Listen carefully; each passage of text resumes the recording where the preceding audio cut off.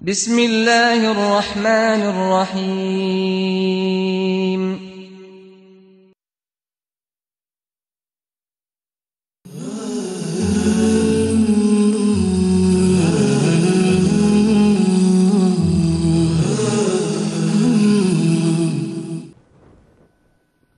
السلام عليكم ورحمة الله وبركاته.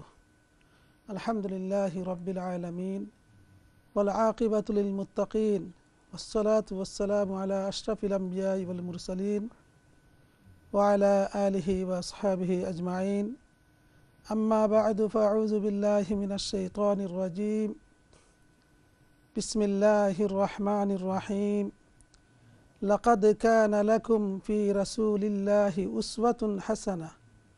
صدق الله العظيم وصدق رسوله النبي الكريم ونحن على ذلك من الشاهدين. صلى الله على سيدنا ومولانا محمد وعلى آله وأصحابه وسلم صلى الله على سيدنا ومولانا محمد وعلى آله وأصحابه وسلم সম্মানিত দর্শক শ্রোতা ভাই বোনেরা আলহামদুলিল্লাহ আল্লাহ সুবাহানহু তালার অশেষ মেহরবানি প্রতি সপ্তাহের ন্যায় আজ আমরা দর্শে হাদিস প্রোগ্রাম নিয়ে আপনাদের সম্মুখে উপস্থিত হয়েছি এই মুহূর্তে আপনারা আমাদের সাথে যারা যোগ দিয়েছেন, প্রত্যেককে আন্তরিক মোবারকবাদ জানাচ্ছি। আমাদের সাথে আছেন আমাদের সম্মানিত মেহমান, বিশিষ্ট আলেমদিন লন্ডন ইসলামী স্কুলের সম্মানিত মহাদ্দিস, মুফতি মৌসু আহমদ সাহ আমরা হজরতের কাছ থেকে তার মূল্যবান আলোচনা শুনব। তার আগে আমি আপনাদের সম্মুখে কোরআনে পাক থেকে ছোট্ট একটি আয়াত তিলাওয়াত করেছি। এখানে আল্লাহ আমাদেরকে উদ্দেশ্য করে বলেন, লাকাদ কান আলাকুম ফি রাসুলিল্লাহি উসওয়াতুন হাসানা। নিশ্চয়ই তোমাদের জন্য আল্লাহর রসুলের জীবনীতে রয়েছে উত্তম আদর্শ। আল্লাহ তালা আমাদেরকে এ দুনিয়াতে পাক পবিত্র করে প্রেরণ করেছেন। আর এ দুনিয়া থেকে আমরা একদিন চলে যেতে হবে। আমরা প্রত্যেকে এটার দিকে খেয়াল রাখতে হবে যে, আমরা যদি কবরে যাওয়ার আগে আমরা পাক পবিত্র হয়ে যেন আমরা খবরে যেতে পারি। আর যদি আমরা পাক পবিত্র না হয়, অপবিত্র অবস্থায় খবরে যাই, তো এর চেয়ে লজ্জা কী হতে পারে? আমরা যদি পাক পবিত্র হিসাবে দুনিয়াতে সার্থকতাভাবে চলতে পারি, আর তার একমাত্র উদ্দেশ্য হচ্ছে নবীর তরিকা মতো যদি আমরা জীবনকে পরিচালনা করতে পারি, তাহলে আমাদের ইহজগতেও সার্থক, আখেরাতেও আমাদের সার্থক হবে। আসুন আমরা নবীর সুন্নত মাফিক জীবনকে পরিচালনা করি, ইনশাআল্লাহ। দেখবেন আমাদের জীবনে শান্তি এসেছে, আমাদের পরিবারের মধ্যে শান্তি এসেছে। আজ আমাদের টাকা পয়সা গড় বাড়ি থাকা সত্ত্বেও অশান্তি। তার কারণ একমাত্র হচ্ছে আমাদের আমরা নবীর সুন্নতকে ছেড়ে দিয়েছি। অতএব আমাদের জন্য করণীয় হচ্ছে আল্লাহ রসুলের তরিকা মতো জীবন জীবন, নিজের জীবনকে পরিচালনা করা। আপনারা এই মুহূর্তে আপনাদের কাছে অনুরোধ, প্রথম থেকে শেষ পর্যন্ত আমাদের সাথে থাকবেন। আমরা হজরতের কাছে তার মূল্যবান আলোচনা শুনব আমি হজরতকে বলছি আজকের বিষয়বস্তু আশুরার তাৎপর্য সম্পর্কে মূল্যবান আলোচনা পেশ করার জন্য আলহামদুলিল্লাহ শুক্রিয়া আলহামদুলিল্লাহ الحمد لله نحمده ونستعينه ونؤمن به ونتوكل عليه ونعوذ بالله من شرور أنفسنا ومن سيئات أعمالنا من يهده الله فلا مضل له ومن يضلله فلا هادي له ونشهد أن لا إله إلا الله وحده لا شريك له ونشهد أن محمدا عبده ورسوله. أما بعد أرسل إلى الناس كافة بشيرا ونذيرا وداعيا إلى الله بإذنه سراجا وسراجا منيرا.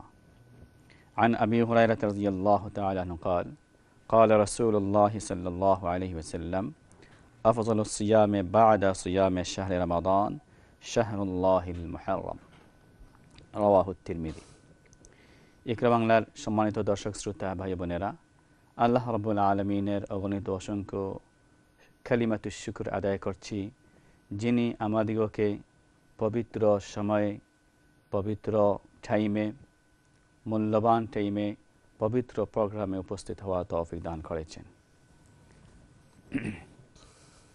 আমি আপনাদের সামনে রসুল করিম সাল্লাহ আলী ওসাল্লামের হাদিস শরীফের ভান্ডার থেকে ছোট্ট একটি হাদিস শরীফ তিলাওয়াত করেছি।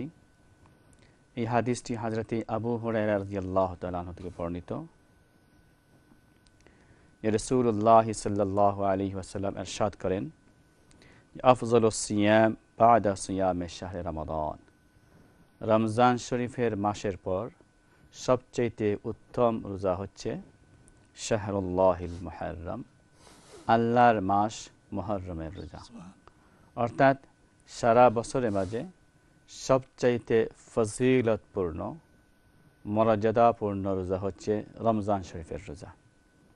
শাহরু ফীহিল কুরআন রমজান শরীফে আল্লাহ রাব্বুল আলামিন কোরআন শরীফ নাজিল করেছেন। তাই রমজান শরীফের রোজা হচ্ছে সবচাইতে গুরুত্বপূর্ণ রোজা ফরজ রোজা এবং সবচাইতে ফজিলতপূর্ণ রোজা। আর রমজান শরীফের রোজার পরেই হচ্ছে মহরমের রোজা। এই মহরমকে শাহরুল্লাহিল মহরম বলা হয়েছে আল্লাহর মাস মহরম। আল্লাহর তো সব কিছুই দিন এবং রাত্রির মালিক আল্লাহ। জীবন এবং মৃত্যুর মালিক আল্লাহ।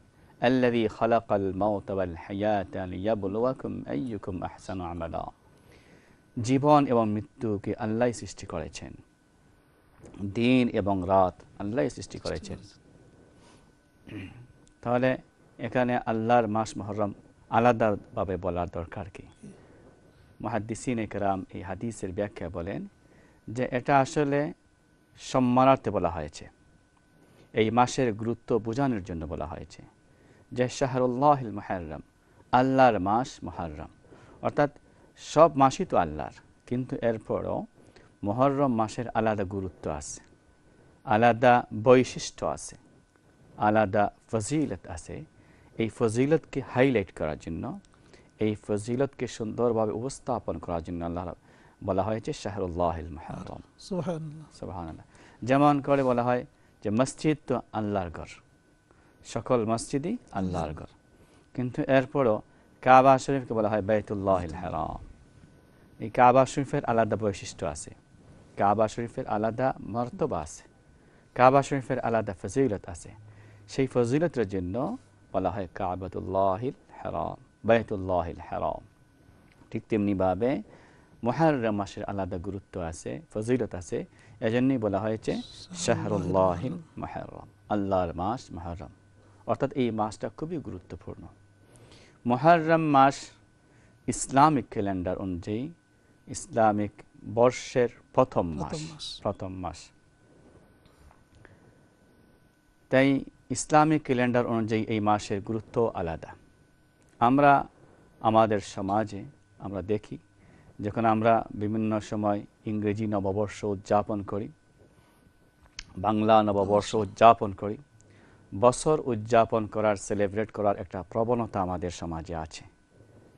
আর আমরা তাও লক্ষ্য করি যখন আমরা নিউ ইয়ার সেলিব্রেট করি উদযাপন করি তখন আমরা বিভিন্ন ধরনের অনুষ্ঠানের আয়োজন করি বিভিন্ন ধরনের হই হুল্লোড় করি বিভিন্ন ধরনের বিভিন্ন ধরনের অনুষ্ঠানাদির অনুষ্ঠান। মাধ্যমে আমরা এই সমস্ত বর্ষ বরণকে বর্ষকে আমরা বরণ করতে চাই। কিন্তু একটু খেয়াল করলে একটু চিন্তা করে দেখা দরকার যে আমরা যে নতুন বছর বরণ করতে যাচ্ছি কি পাইতে যাচ্ছি কি গ্রহণ করতে যাচ্ছি আর কি ছেড়ে যাচ্ছি কি আমরা সারলাম আর কি আমরা গ্রহণ করতে গেলাম।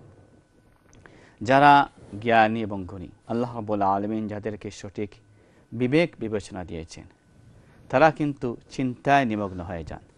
তারা যখন দেখেন যে নতুন বছর এসেছে, নতুন বছর যখন দুর্গুড়ায় সমাগত, আমরা নতুন বছরকে ইস্তেকবাল করতে যাচ্ছি, ওয়েলকাম করতে যাচ্ছি, তখন তারা কিন্তু চিন্তায় নিমগ্ন হয়ে পড়েন, ভারাক্রান্ত হয়ে পড়েন, টেনশনে পড়ে যান। কী টেনশন? কী চিন্তা? সেই চিন্তাটা হলো যে আমার জীবনের আমার হায়াতের মধ্য থেকে আমার জীবনের মধ্য থেকে একটা গুরুত্বপূর্ণ বছর সময় তো অতিবাহিত হয়ে গেল। সেই বিগত বছরে আমি কি করলাম? আমি আমার নেকির বান্ডার কতটুকু সমৃদ্ধ করতে পারলাম? আখরাতের জন্য আমি কি সঞ্চয় করতে পারলাম? বছর তো তার পরিক্রমায় তার ধারাবাহিক নিয়মে চলে গেল। কিন্তু সেই সময় থেকে সেই বছর থেকে আমি আখরাতের পুঁজি কতটুকু অর্জন করতে পারলাম? আল্লাহ রাব্বুল্লাহ আলমিন কোরআন মজিদ এরশাদ করেন শাইতানির রাজিম। বিসমিল্লাহির রহমানির রহিম। ওয়াল আসর ইন্নাল ইনসানা আল্লাহ তাআলা সময়ের কসম করে বলতেছেন, ওয়াক্তের, টাইমের শপথ করে বলতেছেন। তো এই আয়াত দ্বারাই বোঝা যেতেছে যে সময় অত্যন্ত গুরুত্বপূর্ণ একটা ম্যাটার সেই সময় আমার জীবন থেকে হারিয়ে গেল। অতল গহীন গ- গহ্বরে চলে গেল। সেই জীবন থেকে আমি কি শিক্ষা নিলাম? আমরা অনেকের মাঝে দেখা যায় যে আমরা এই বিষয়গুলো চিন্তা করি না। বরং আমরা নতুন বছর এলে আমরা খুশিতে, আনন্দে আপ্লুত হয়ে যাই এবং বিভিন্ন ধরনের সেলিব্রেট করি। আমরা খুশিতে মাতোয়ারা হয়ে যাই। কিন্তু আমি কি ভেবে দেখেছি যে বিগত বছরে আমি কতটুকু গুণা করেছি? এই গুণা থেকে বাঁচবার কি পন্থা আমি অবলম্বন করেছি? আমি কি বিগত বছরে যে সমস্ত পাপ করেছি, সেই পাপ থেকে আমি মুক্ত হতে পেরেছি? আমি কি আল্লাহর কাছ থেকে আমার গুণাটুকু মাফ করাইতে পেরেছি? এবং আগামী যে বছরটা আসছে, সেই বছরে আমার রেজুলেশন কি? আমার কমিটমেন্ট কি? আমার পরিকল্পনা কি? আমি কি নতুন বছরের জন্য আমার পরিকল্পনাকে সাজিয়েছি? আমরা যারা দুনিয়ার বিভিন্ন কাজে ব্যস্ত থাকি ব্যবসা বাণিজ্য এবং বিভিন্ন প্রফেশনে যারা আমরা আছি আমরা নতুন বছরের জন্য নতুন প্ল্যান করি। আমার বিজনেসকে এভাবে প্রমোট করতে হবে। আমার বিজনেসকে আরও ইমপ্রুভ। করতে হলে আমার এই সমস্ত কাজ করতে হবে। আমার আগামী দিনে গত বছর যে পরিমাণ অর্থ আমি সংগ্রহ করেছি টাকা পয়সা রোজি- রোজগার করেছি আগামী বছরে আমার প্ল্যান আরও বেশি সেহেতু আমাকে আরও রোজগার করতে হবে। মুফতি একটা কল নিয়ে নেই? জি আচ্ছা ঠিক আছে। হ্যালো কল আসসালামু আলাইকুম। আসসালামু আলাইকুম। হ্যালো আসসালামু আলাইকুম। ওয়ালাইকুম আসসালাম রহমতুল্লাহ। আহ, আমি একটা প্রশ্ন করতাম চাইছিলাম। জি খোকা সাইন আহ, প্রশ্নটা হইল এই যে ফজর নামাজের ওক থামানির পরে তাজুদ নামাজ পড়া যায় না যায় না? ফজরের নামাজের পরে? থামাই গেছে আকি আইয়া জমাত তো শুরু হইবার আগে ফজর তাজুদ নামাজ পড়া যাইব নি বুঝছি ঠিক আছে তাছাড়া এই কমসে কম করে হাত নামাজ তাজুদের পড়া লাগবো জরুরি। জি। ওকে এই আমার প্রশ্নটা। আসসালামু আলাইকুম। আসসালাম রহমতুল্লাহ পরবর্তী কল আসসালামু আলাইকুম। আসসালামু আলাইকুম। আলাইকুম আমার একটা প্রশ্ন আছে যে মহরম মাসে দশ তারিখ মঙ্গলবার। তো এই দশ তারিখ আমরা তো দুইটা রোজা রাখি তে মঙ্গলবার আর বুধবার রাখব না সোমবার আর মঙ্গলবার? একটু প্লিজ আমাদেরকে বলবেন। জি সুন্দর প্রশ্ন আপনি কন্টিনিউ প্রোগ্রাম দেখেন। আসসালামু আলাইকুম। ওয়ালাইকুম আসসালাম রহমতুল্লাহ বরকাত আমরা আনসারে দেখে যাই প্রথম আমার এক ভাই প্রশ্ন করেছেন ফজরের নামাজের ওয়াক্ত স্টার্ট হয়ে গেছে এমত অবস্থায় কি তাহাজুদের নামাজ পড়তে পারবেন? প্রথম প্রশ্ন ফজরের নামাজ শুরু হয়ে যাওয়ার পরে আর কোনো নফল নামাজ পড়া এলাও না। আপনার যদি তাহাজুদ পড়তে চান তাহলে সুবেহ সাদিক অর্থাৎ ফজরের টাইম আসার আগে আগে আপনাকে পড়তে হবে। আপনি তাহাজুদ পড়তে পারবেন নফল নামাজ পড়তে পারবেন। কিন্তু যখন ফজরের নামাজের টাইম হয়ে যাবে তখন শুধু ফজরে দুই রেখা সুন্নত পড়তে পারবেন, এছাড়া আর কোনো নফল নামাজ পড়তে পারবেন না। ফজরের ওয়াক্ত শুরু হয়ে যাওয়ার পর শুধু ফজরের দুই রেখা সুন্নত পড়বেন। এছাড়া আর কোনো নফল নামাজ পড়া ঠিক না। যদি আপনি ইচ্ছা করেন তিলাওয়াত করতে পারেন তসবি পড়তে পারেন দুরুশি পড়তে পারেন। তারপর আপনি ফজরের দুই রেখাত ফরজ নামাজ পড়বেন। যদি মসজিদ কাছে হয়, মসজিদে গিয়ে জামাতে পড়বেন, অথবা ঘরে যদি পড়ে নেন, তাহলে সুন্নত পড়ার পর শুধু ফজরের দুই রেখাত ফরজ পড়বেন। জাজাকাল্লাহ বাইরে আরেকটি প্রশ্ন হচ্ছে তাহাজুদের নামাজ কয় রাখাত? তাহাজুদের নামাজ, এখন প্রশ্ন হলো যে তাহাজুদের নামাজ কি পড়তেই হবে? এটা কি জরুরি? এই প্রশ্নের উত্তর হচ্ছে জি না তাহাজুদের নামাজ পড়া ফরজ না, ওয়াজিব না। পড়তেই হবে এমন কোনো বিষয় না। আল্লাহ রাবুল্লাহ আলমিন কোরআন মজিদের মধ্যে এরশাদ করেন শাইতানির রাজিম মিনাল লাইলি ফাতাহাজ্জাদ বিহি নাফিলাতাল লাক, আসা আন ইয়াবআসাকা রাব্বুকা মাকামান মাহমুদা। আল্লাহ রাব্বুল আলামিন হাতি মোহাম্মদ মুস্তফা সাল্লাহ ইসলামকে সম্বোধন করে বলতেছেন যে আপনি রাত্রের একটা অংশে দাঁড়িয়ে তাহাজুদের নামাজ পড়েন। এটা আপনার জন্য অতিরিক্ত। তাহাজুদের নামাজ এটা নফল নামাজ। এটা জরুরি না। হ্যাঁ যদি এই নামাজ পড়েন তাহলে অনেক বেশি সব হবে। আল্লাহ রব্বুল আলমিনের নেক বান্দা যারা, তারা শেষ রাত্রে ঘুম থেকে উঠে যান। আর শেষ রাত্রে ঘুম থেকে উঠে তাহাজুদের নামাজে দাঁড়িয়ে যান। আর আল্লাহর জিকিরের মাঝে মশগুল হয়ে যান। আর আল্লাহ ওলামা একরাম বলেন যে আল্লাহর নেক বান্দা যারা আল্লাহর প্রিয় বান্দা বনতে চাইলে আল্লাহর প্রিয় বান্দা বা বান্তি হতে চাইলে আপনাকে তাহাজুদের নামাজ পড়তে হবে। আর এটাই দেখা গেছে যারা তাহাজুদের পাবন যারা নিয়মিত তাহাজুদ পড়েন এরাই আল্লাহর বড় পিয়ারা বান্দা বা বান্দি আল্লাহ রব্বুল আলমিন দুনিয়াতেও তাকে তাদেরকে উজ্জ্বল করেছে এবং আখেরাতেও তাদেরকে উজ্জ্বল করবেন বলে আশাবাদী। এখন প্রশ্ন হলো তাহাজুদের নামাজ কয়ের কাজ পড়তে হবে?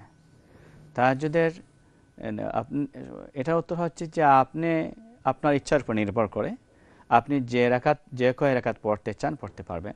যদি আপনার দুই রেখাত পড়ার ইচ্ছা হয় দুই রেখাত পড়তে পারবেন। চার রেখাত পড়তে চাইলেও চার রেখাত পড়তে পারবেন। সর্বোচ্চ আট রেখাত আট রেখাত পড়বেন। রসুল করিম ইসলাম বেশিরভাগ আট রেখাতই পড়েছেন। সেই জন্য যদি আপনি তাহাজুদের নামাজ বেশি পড়তে চান তাহলে আট রেখাত পড়বেন। এছাড়া যদি এর চেয়ে কম পড়তে চান আপনার অপশন আছে। আপনার এখতিয়ার আছে দুই রেখাতে পড়তে পারেন চার রেখাতে পড়তে পারেন ছয় রেখাতে পড়তে পারেন সর্বোচ্চ আট রেখাত হ্যালো কল আসসালামু আলাইকুম। আসসালামু আলাইকুম রহমতুল্লাহ। ওয়ালাইকুম আসসালাম রহমতুল্লাহ বারাকাতু হুজুর ভালো আছেননি জি আলহামদুলিল্লাহ। জি আমি একটা প্রশ্ন আমার। আহ, আমি ডেন্টিস্ট গেছিলাম আমার রক্ত সামান্য সামান্য বারোর আর কি দাঁতে দিয়া। তে আমি বেলা করে কুল্লে করিয়া নমাজ পড়িছি সজা করতাম না করিয়া এই নমাজ হইবনি ঠিক আছে। হুজুরের কাছে আমি জানতাম চাইলাম জি। নেক্সট কল আসসালামু আলাইকুম। হ্যালো কল আসসালামু আলাইকুম। আসসালামু আলাইকুম। ওয়ালাইকুম আসসালাম রহমতুল্লাহ। আচ্ছা আমার প্রশ্নটা হইল যে ঘুমাইবার আগে এশান নামাজের পরে দুইটা সুরা আছে হা মিম সিজদা আর একটা হইল সাজদা সিজদা কোন সুরাটা পড়া লাগবে? সুরা মুলকল সঙ্গে। হাসান নামাজ- ইনশাআল্লাহ। জি। জাজাকাল্লাহ আপনার কন্টিনিউ ভক্ত খুকা নেক্সট কল আসসালামু আলাইকুম। আসসালামু আলাইকুম। হ্যালো কল আসসালামু আলাইকুম। হ্যালো আসসালামু আলাইকুম। ওয়ালাইকুম আসসালাম রহমতুল্লাহ। আমি একটা প্রশ্ন করতে চাচ্ছিলাম। জি সাইন ফরজ নামাজের শেষর সুজুদ সুবহান রাব্বিল আলা তিনবার পড়িয়া কোনো দোয়া পড়া যাইব না। জি। ঠিক আছে ইনশাল্লাহ কন্টিনিউ দেখো ইনশাল্লাহ আনসার পাইবাক পরবর্তী কল আসসালামু আলাইকুম। কলটি হয়তো মনে হয় ড্রপ হয়ে গেছে যে ভাই বা বোন ফোন প্রশ্ন করে ফোন করেছিলেন আবারও ঘুরাবেন ইনশাল্লাহ আমরা আনসারের দিকে চলে যাচ্ছি সাহেব আমার এক বোন প্রশ্ন করেছিলেন মহরম আশুরার যে রোজা সম্পর্কে মঙ্গলবার দশ তারিখ হয়। তো আমরা তো দুটা রোজা রাখি তো দশ এগারো রাখবেন না নয় দশ রাখবেন? আশুরা রোজা যেটা আমরা বলি, আশুরা শব্দ অর্থ হলো দশ, দশম দিন। মহরমের দশ তারিখে যে রোজা রাখা হয়, সেই রোজাকেই আশুরা রোজা বলে। তাই আশুরার মেন রোজা একটাই দশ তারিখের রোজা। বাট হাদিস শরীফে এসেছে যে আশুরা রোজার সাথে আরও একটা দিন মিলিয়ে নিলে ভালো হয়। নবী করিম সাল্লাহ আলহি ওয়াসাল্লাম যখন দশ তারিখ রোজা রাখলেন, তখন সাহাবাই কেরাম আরজ করলেন, ইয়া রসুল আল্লাহ সাল্লাম ইহুদিরও দশ তারিখে রোজা রাখে। তখন আমরা শুধু, যদি শুধু দশ তারিখে রোজা রাখি, তাহলে তো ইহুদিদের সাথে সাদৃশ্য হয়ে গেল। হাদিস শরীফে তো এসেছে যে, খালিফুল ইহুদ নাসারা যে তাদের, আমরা যে আমল তাদের সাদৃশ্য আমল করব না, বরং আমরা ভিন্নভাবে আমল করব, যাতে তাদের উল্টা হয়, তাদের বিপরীত হয়, তাদের সাথে সমান তালে আমরা ইবাদত করব না। তাই নবী করিম ইসলাম এরশাদ করেছিলেন যে যদি আগামী বছর আল্লাহ তাআলা তৌফিক দান করেন তাহলে আমি নয় তারিখে রোজা রাখব। এটাকে তাসুয়া বলে তাসুয়া তাই কিন্তু আসলে পরবর্তী বছর রসুল্লাহ ইসলামের হায়াত পান নাই। উনি ইচ্ছা পোষণ করেছিলেন যে যদি আগামী বছর হায়াতে হায়াত পাই জীবিত থাকি তাহলে আমরা নয় তারিখে রোজা রাখব। রসুল্লাহ ইসলাম ইচ্ছা পোষণ করেছিলেন ইরাদা করেছিলেন কিন্তু আগামী বছর মহরম আসার আগে আগেই উনি ইন্তেকাল। হয়ে গেল। তাই নয় তারিখে রোজা রাখা যায়নি। কিন্তু এরপরেও এই হাদিস থেকে উম্মতের জন্য একটা দিক নির্দেশনা এসে গেল যে আমরা আশুরা রোজাটা কীভাবে পালন করব। শুধু কি দশ তারিখে রাখব না দশ তারিখের সাথে আরও একটি রোজা মিলিয়ে রাখব? এই হাদিস শরীফ থেকে আমরা ক্লিয়ার গাইডলাইন পেয়ে গেলাম যে আমরা শুধু দশ তারিখ না দশ তারিখের সাথে আরও একটি রোজা মিলিয়ে রাখব। এবং রসুল্লাহ সাল্লাহ আলী আসাল্লাম ক্লিয়ারলি মেনশন করেছেন যে নয় তারিখের কথা। তাই মহাদ্দিন একরাম এবং ওলামা একরাম বলেন যে আশুরা রোজার সাথে যদি আগের দিনে রোজা রেখে নেন অর্থাৎ নয় তারিখ এবং দশ তারিখ। সেই হিসাবে দ্বিতীয় হবে মঙ্গলবারে যেহেতু দশ তারিখ। দশ তারিখ তাই সোমবার এবং মঙ্গলবার মানডে অ্যান্ড টুয়েসডে এই দুই দিন রোজা রাখলে ভালো হয়। নয় তারিখ এবং দশ তারিখ। কোনো ওজোরের কারণে যদি নয় তারিখ রাখতে পারেন না তাহলে দশ তারিখ এবং পরের দিন এগারো তারিখ দুইটা রোজা রেখে নিলে ভালো হয়। মোটামুটি কথা আশুরা রোজা রাখার সময় আমরা খেয়াল করব যাতে আমরা দুইটা রোজা রাখি। উত্তম হলো নয় তারিখ এবং দশ তারিখ। বিকজ হাদিস শরীফের মাঝে নয় তারিখের কথা। ক্লিয়ারলি এসেছে। তিরমিজি শরীফের হাদিসেও এসেছে। আর যদি কোনো ওজরের কারণে নয় তারিখ রাখতে পারি না তাহলে দশ এবং এগারো তারিখ রাখব এটাই উত্তম। জাজাকাল্লাহ। আমার এক বোন প্রশ্ন করেছিলেন ডেন্টিসে গিয়েছিলেন উনি।